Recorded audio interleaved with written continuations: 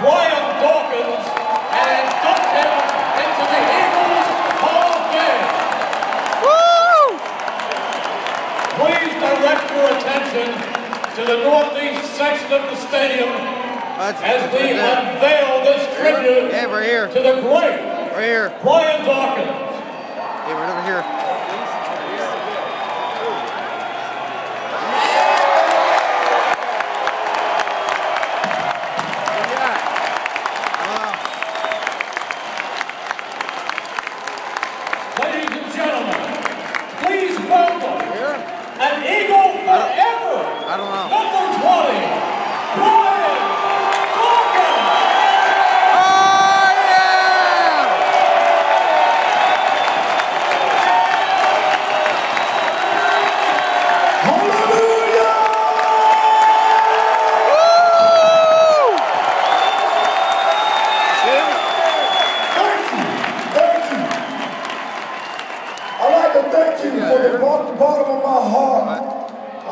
Thank the Eagles organization.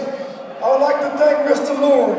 I'd like to thank uh, Jeff. I would like to thank uh, uh, Ray Rhodes, Emmitt Thomas. I would like to thank the late great Jim Johnson.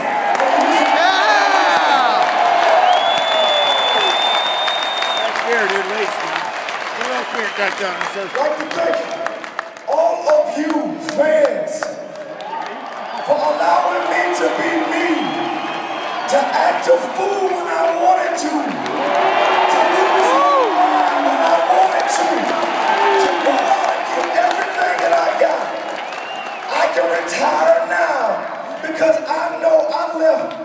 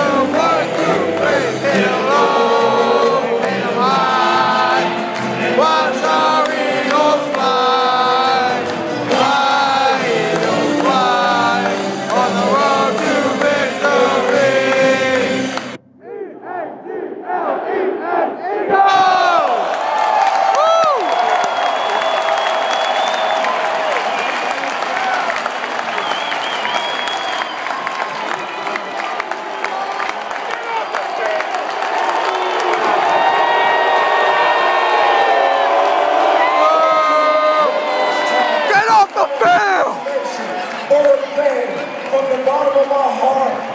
Thank you, Dog Man.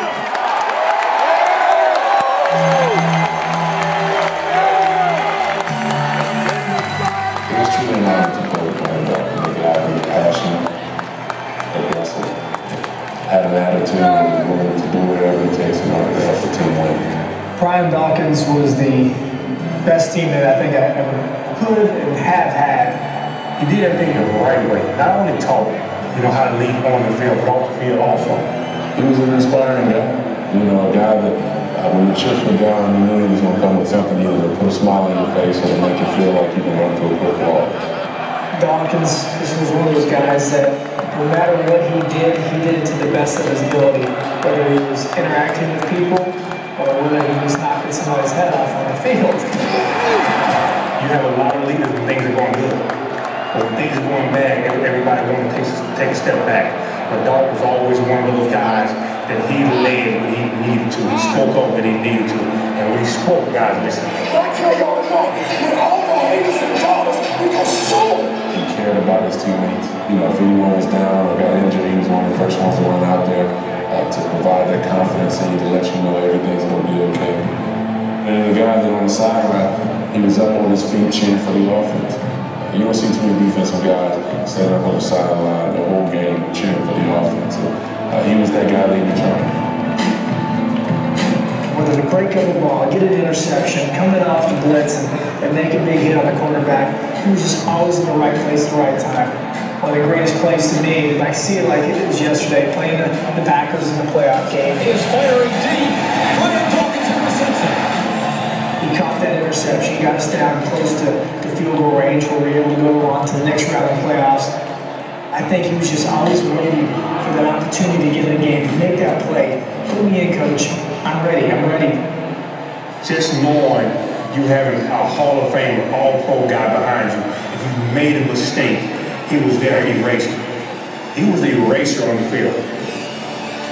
When you see a guy who sheds tears, uh, who bleeds, uh, plays through injury, willing to do whatever it takes in order for his teammates to be successful, he would sacrifice himself uh, so that that, that Some people are like, well, yeah, I try real hard. It's not a try. He would give everything he had. To me, he separated himself because he truly gave it that 100% of everything he did. He punished receivers and ball carriers when he made a hit. Those guys are intimidated to catch the ball when Dawkins is back there roaming around. That's the type of pressure that he brought week in and week out for 16 seasons.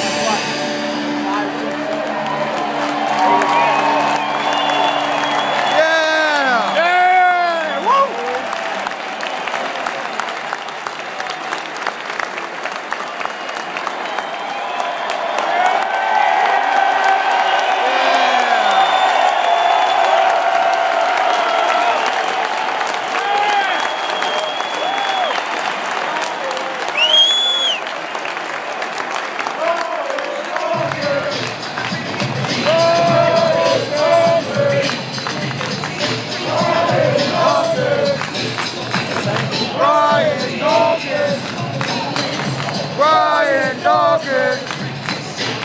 Whoa.